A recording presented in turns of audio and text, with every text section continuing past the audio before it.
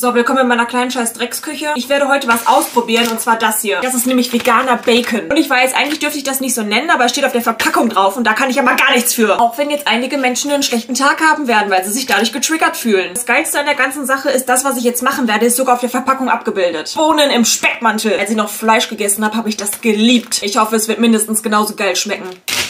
Es riecht auf jeden Fall würzig. So, das wird jetzt eingerollt und dann angebraten. Ich mache jetzt auch erstmal nur dieses eine, weil wenn es scheiße schmeckt, gebe ich es einfach meinen Nachbarn.